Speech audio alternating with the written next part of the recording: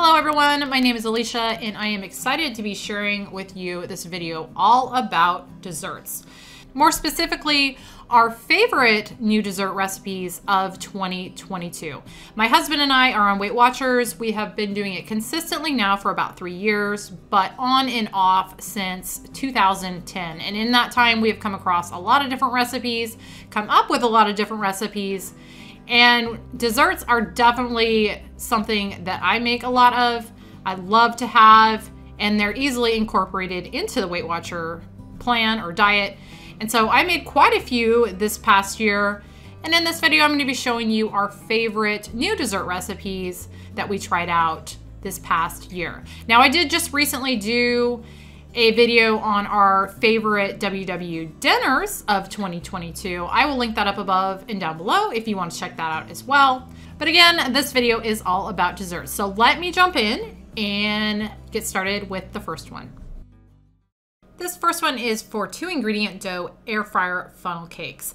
Now, if you're familiar with my channel at all, you know I absolutely love the two ingredient dough and all the different ways that you can use it.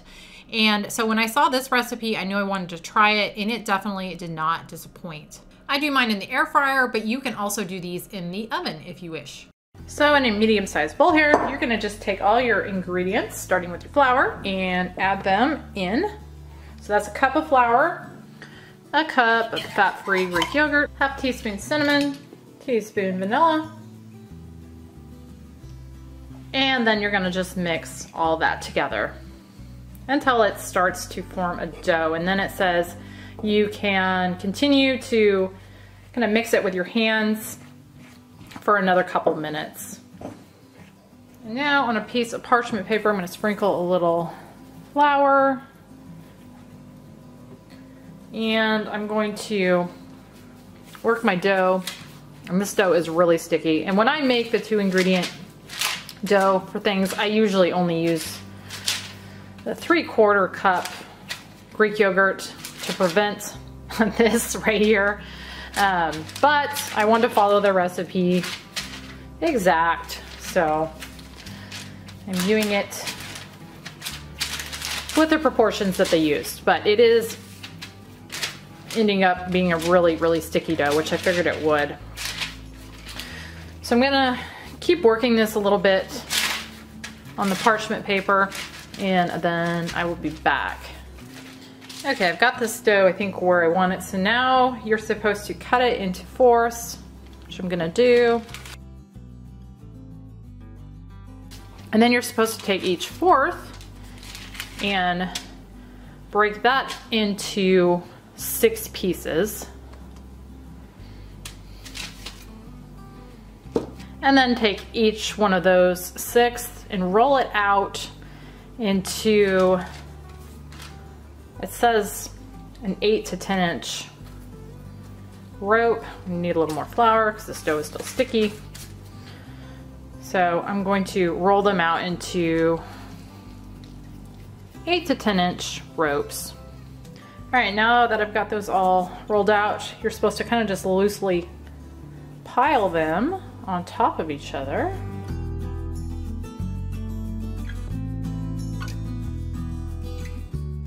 Like that. And now I'm gonna go ahead and do that same thing with the last three here. I've got these all done and I've got my air fryer preheated to 375.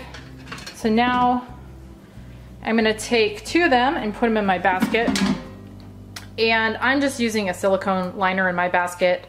Recipe says to spray cooking spray on the bottom of the basket, but I'm not going to because I've got my liner here. So I'm gonna just set two of these in the basket.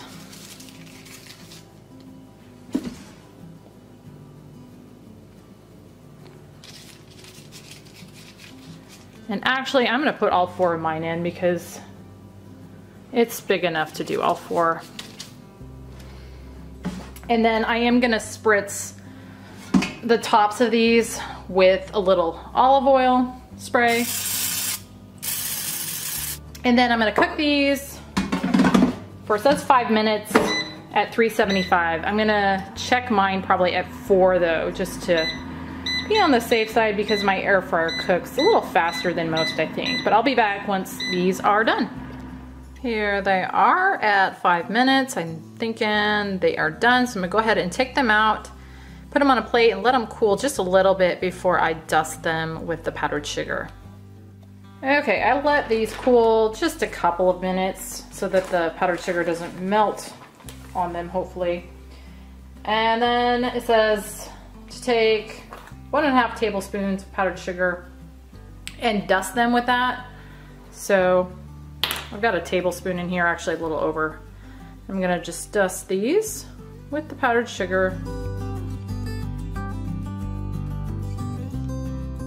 And I still got quite a bit left, but I think that's more than enough powdered sugar as far as I'm concerned. So I'm not gonna use the whole one and a half tablespoons, but that is what they look like. They smell really good. Okay, I'll have my hubby try one of these. Let us know what they what he thinks. They smell good, don't you think? Yeah.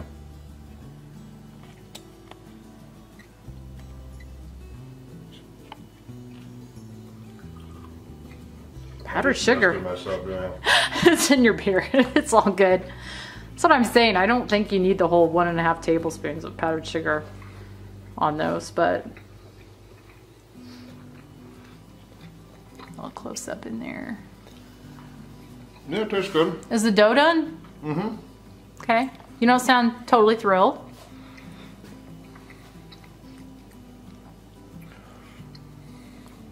Not your favorite? No, it's not bad. It's not knock your socks off. What's in them? It's just the two ingredient dough and then it's got vanilla and cinnamon and then the powdered sugar. Yeah, so it's got just a. It's got a real light taste of cinnamon. Mm-hmm. So maybe more, maybe more cinnamon. Yeah, so that's. I mean, it tastes good, mm-hmm. especially the powdered sugar on there. Mm-hmm. And the two ingredient pizza dough really actually makes a, a nice base for a dessert like that. But more cinnamon. More flavor, Okay. more cowbell. More cowbell? Mm-hmm. Okay. I was actually thinking when I was looking at that that uh, half a teaspoon didn't sound like a whole lot of cinnamon to me either, but I wanted to follow it as they had it. So yeah, um, I guess more cinnamon. You could add other stuff to this too. Maybe even a little bit of salt. Well, there's salt in the self-rising flour. Yeah. How many points? They're four points. Yeah, They're not a bad size. that's true. So four Does points. the powdered sugar add points? Um, yes. I don't know how much off the top of my head because it's only a tablespoon and a half, and I didn't. I probably used half a tablespoon for that right there. Yeah. So not a lot, honestly. I wouldn't think. I think if it had a little stronger cinnamon flavor, I'd say that was worth four points. Okay. So But you can tell it's a. I don't think it would be an, say hi, Rocky. an, it's an Rocky. insubstantial um, Hi. dessert. Okay. Well, let me try a bite because now I'm curious. See what I think. Trying to get flour on my camera. Or flour, powdered sugar.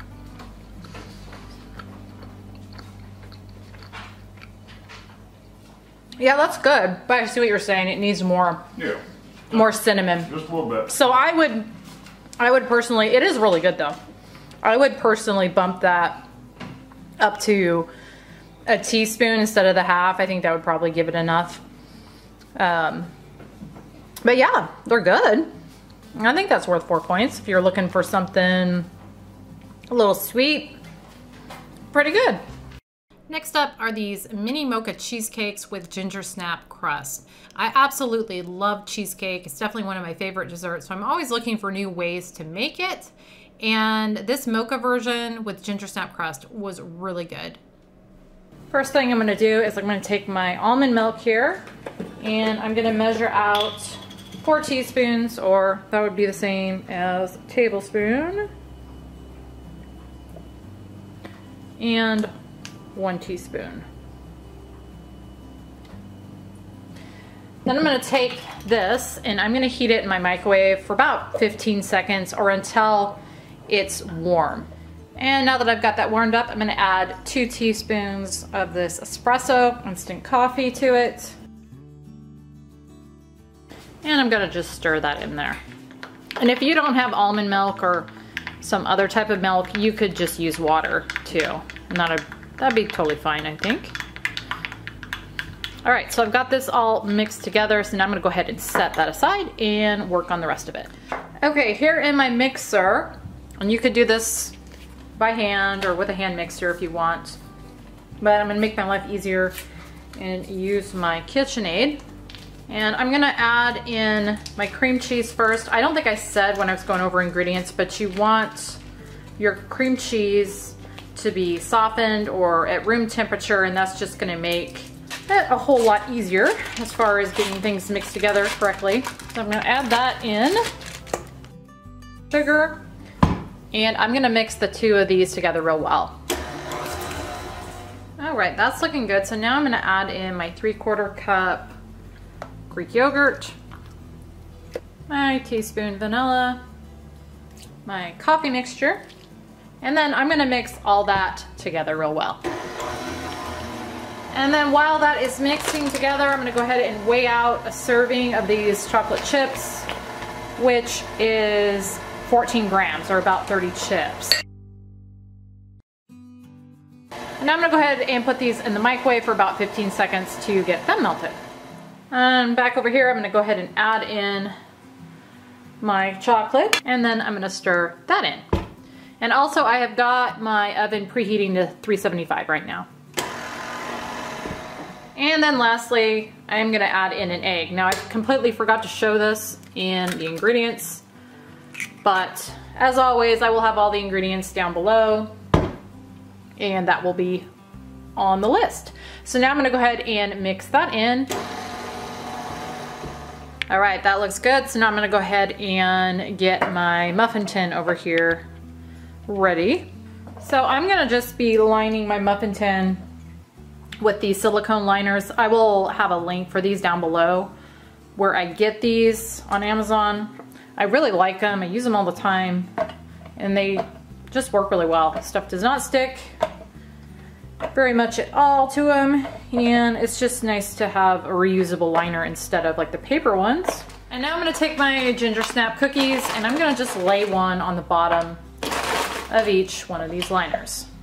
And as I always say when I show these mini cheesecakes. If you want to do a crust, you can. I just think this is way easier, so I use cookies almost all the time. I have done crust before, but when you're doing these little mini ones, it's a whole lot of work. Okay, so now that I've got that done, I'm gonna take my filling and I'm going to evenly fill these. Make a big mess as usual. And I'm just using this ice cream scoop, which is what I typically use. And it works pretty well.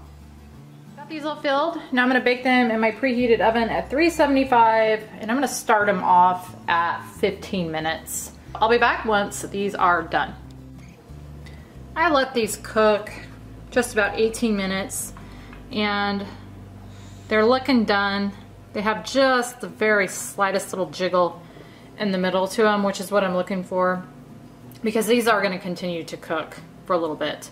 So now I'm going to just let these cool completely, which will take about 45 minutes, an hour, and then I'll come back and dust them. These have completely cooled, so now what I'm going to do is I'm going to take my cocoa powder and I'm going to start off with a tablespoon of it. I'm going to just sprinkle it on the tops of these. and I ended up with a lot of that left. So I would say you only need about one and a half teaspoons of the cocoa powder. But that is it. I'll go ahead and plate some of these up and have my hubby give them a try. Okay, and I've got a few of them on a plate here so you can see them a little closer up. Now these are gonna be five points a piece. And as I said in the beginning, if you want to use a sugar substitute, they're going to be four points.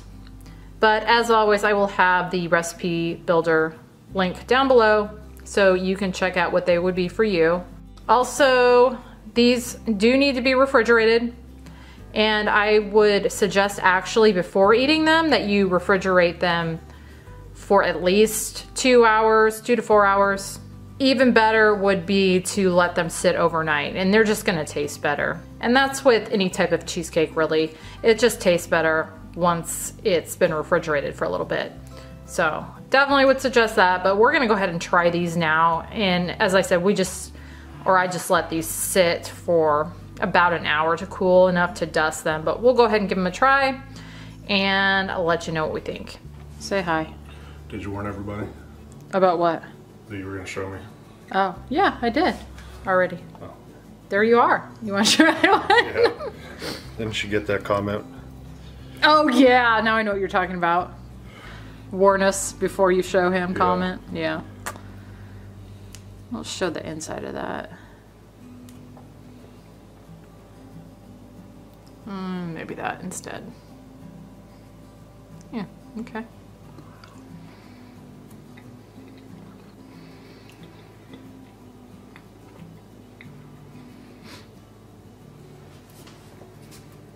Now you've had the different cheesecakes I've done before. Yeah. This one's kind of a little different, obviously. I was breathing some of that powder. Oh, the cocoa powder. okay. Um, so it's really good. The first bite, you really get that espresso. Mm-hmm. Um,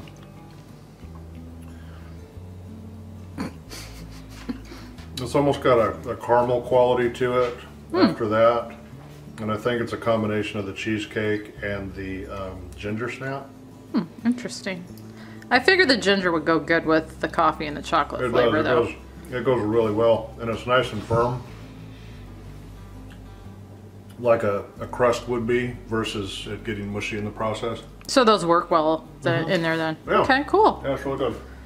This next one is a lightened up version of apple fritter bundt cake. Now this is a lightened up version of a recipe that I already have and have done a video on actually on my channel. But it is not Weight Watcher friendly.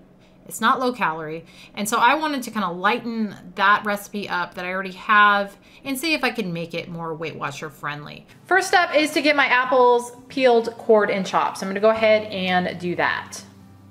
Got my apples chopped up. I ended up doing just over three cups. I used four of those apples. I think I said I was gonna do two cups. I meant three. Um, and this is, like I said, just over. In a medium sized pan, I'm gonna add in my apples. Two tablespoons water, quarter cup of that Lakanto Classic, two teaspoons cornstarch, and three quarter teaspoon apple pie spice. And on medium heat, I'm gonna just kind of stir this all together and let this cook in here for a few minutes until those apples start to soften. For the brown sugar mixture, I'm gonna add in quarter cup packed light brown sugar and a quarter cup packed Truvia. And then a half teaspoon apple pie spice.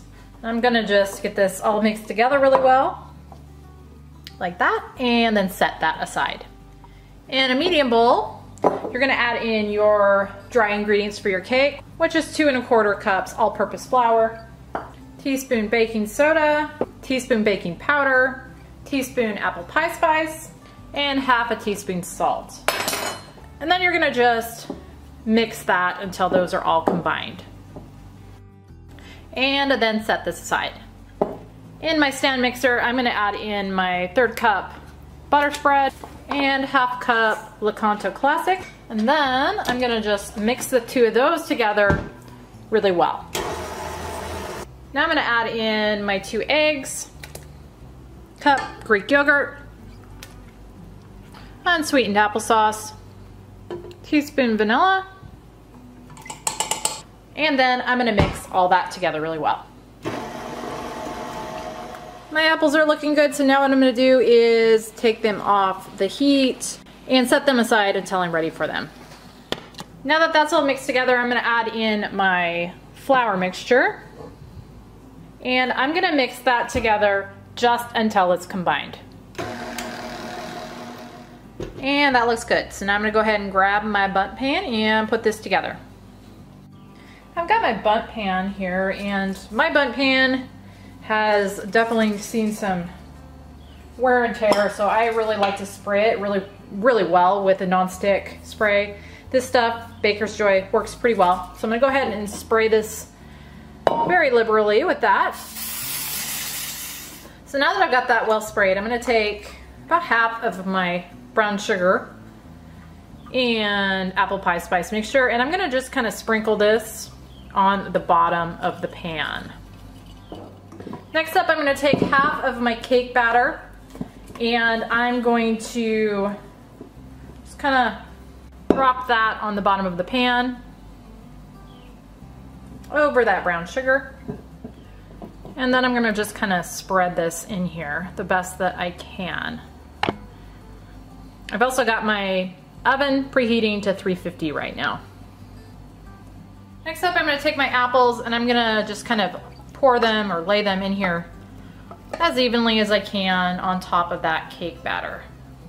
Now that I've got all those apples in there, I'm gonna take my remaining brown sugar mixture and I'm gonna just kind of sprinkle that over the tops of my apples. And then finally, I'm going to cover that with my remaining cake batter. And again, just try and spread this out as evenly as you can while covering the apples. All right, I've got that done. So now what I'm gonna do is bake this in my preheated oven for probably about 40 minutes. It may be a little less or a little more, but I will check on it around 35 minutes, see how it's doing, and I will be back once it is done. I let this bake for 40 minutes. It's looking done, so I went ahead and pulled it out, and now I'm gonna let it cool for about 10 minutes before I try to take it out of the Bundt pan. I let this sit in the Bundt pan for about 10 minutes, went ahead and took it out on my cake stand here, and that's how she's looking. Came out pretty good. So now I'm gonna let this completely cool before I glaze it. For my glaze, I'm gonna go ahead and weigh out 100 grams of confectioner sugar or powdered sugar.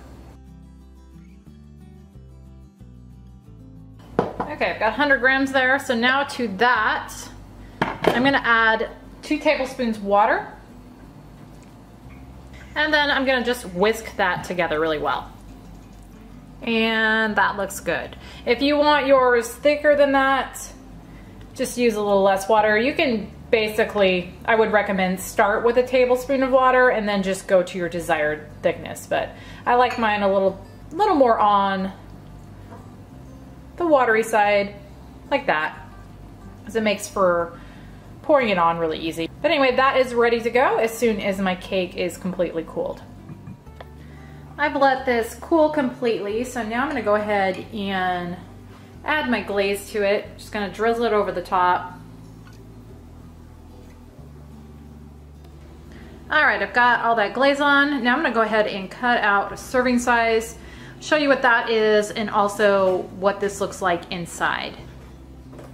All right, I've cut a serving size out of this, which is a 16th. And I don't know if you can see in there very well, but that is what it looks like inside. All those nice apples right in the center. And then here is a close-up of a piece of it, which again is a 16th. Not the biggest piece, but you know, still decent, decent size. Six points per serving. We'll go ahead and give this a try and let you know what it tastes like. All right, I got my hubby here to give this a try.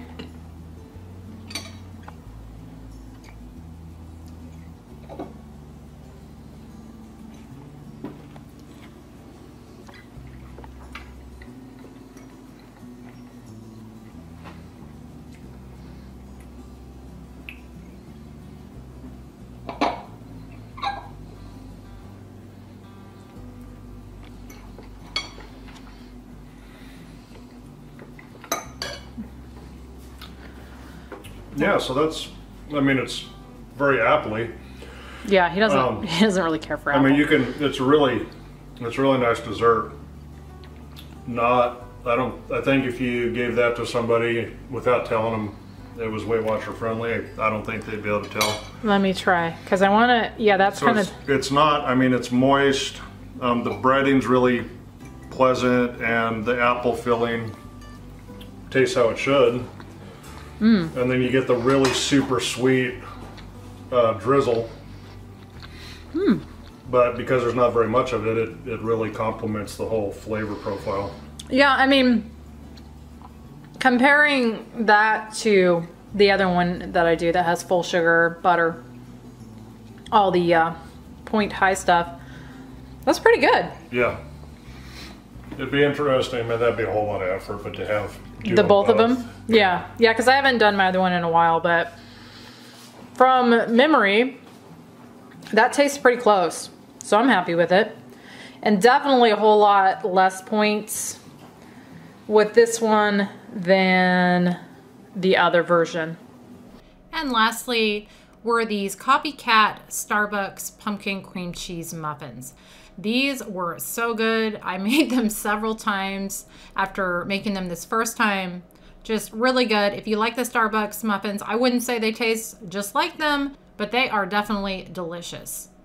First thing I'm gonna do is get my oven preheating to 420, and then I've got my quarter cup of those pumpkin seeds, and I'm gonna just do kind of a rough chop on these, like that. And then in a small bowl here, I'm gonna add a tablespoon of that Truvia and a quarter teaspoon of my pumpkin pie spice. And I'm gonna just get that all stirred together. And now I'm gonna go ahead and set this aside. And then over here in a small frying pan, I'm gonna go ahead and add my tablespoon of Brummel and Brown and let that melt in there. And I've just got this on a medium heat. Now that that's melted, I'm gonna add in my pumpkin seeds. And I'm gonna let those cook in there for it says two to three minutes. And now I'm gonna add in a tablespoon of that Truvia. And I'm gonna stir this all together and let this cook in here for another minute or two, or until it's caramelized. Okay, I've been stirring this for the last minute and a half or so, and it looks good. So now I'm gonna take that off the heat and I'm gonna add it to my brown sugar and pumpkin pie spice. Stir that together like that. And now I'm gonna set this aside until I need it. In a medium-sized bowl here, I am going to add in my flour, which again is two cups, tablespoon pumpkin pie spice, and my baking soda, baking powder, and salt. And then I'm gonna just whisk all these together really well. And now I'm gonna set that aside. In my stand mixer, I'm gonna go ahead and add in my half cup Brummel and Brown and my three quarter cup Lakanto Classic. And then I'm gonna just beat the two of these together for a minute and it says on medium speed. Now I'm gonna go ahead and add in my eggs. And I'm gonna beat those in on high for two minutes. Now I'm gonna add in my quarter cup unsweetened applesauce and my can of pumpkin. And then I'm gonna mix that at a low speed just until it's combined. And now I'm gonna add in my dry ingredients and mix those in just until they're combined. Okay, that looks good. So now I'm gonna get my muffin tin and get it all lined. I've got my muffin tin and I've got it lined with these silicone liners that I like to use. So now I'm gonna take my little ice cream scoop here and I'm gonna just fill all of these up.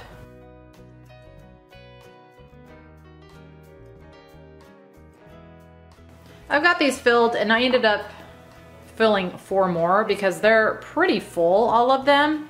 The recipe says 12, but I'm gonna do 16 just because like I said, they're pretty full and I still have to add the toppings and the cream cheese. So speaking of cream cheese, I'm gonna go ahead and set these aside. And I've got my cream cheese here in a bowl.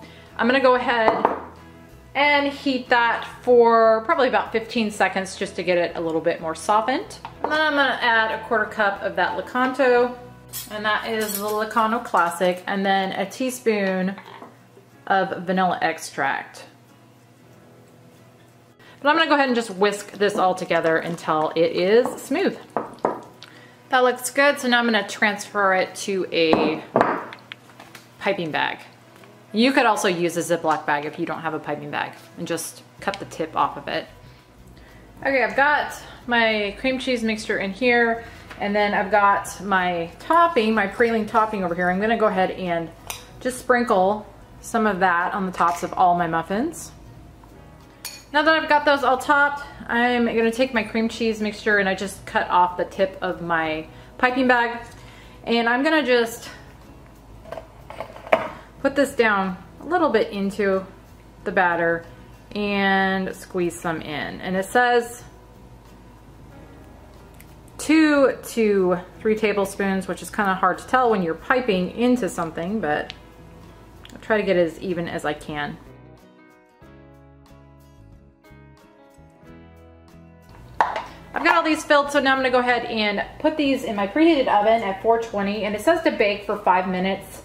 And then after five minutes, while leaving the muffins in, lower the temp down to 350 and bake for another 20 minutes or until muffins are golden on top. So mine may take a little bit less than that extra 20 minutes because I did do four or 16 instead of 12.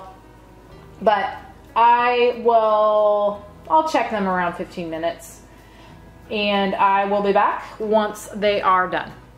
I let these cook for just about 16 minutes. They're looking good, so I pulled them out. And now you're supposed to let them cool for about five ten minutes and remove them from the pan to a cooling rack. So I'm gonna go ahead, let them sit, and then remove them to let them cool on a cooling rack. Okay, it has been several hours. These are completely cooled now. Um, my hubby's here. He's gonna give them a try. I'm gonna give them a try too. Go ahead and break into one of those bad boys. These are five points apiece on Weight Watchers. Mm, look good.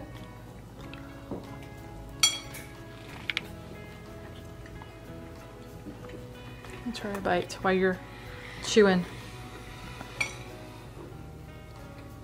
Did you just, did you put, oh, you put that whole thing in your mouth, didn't you?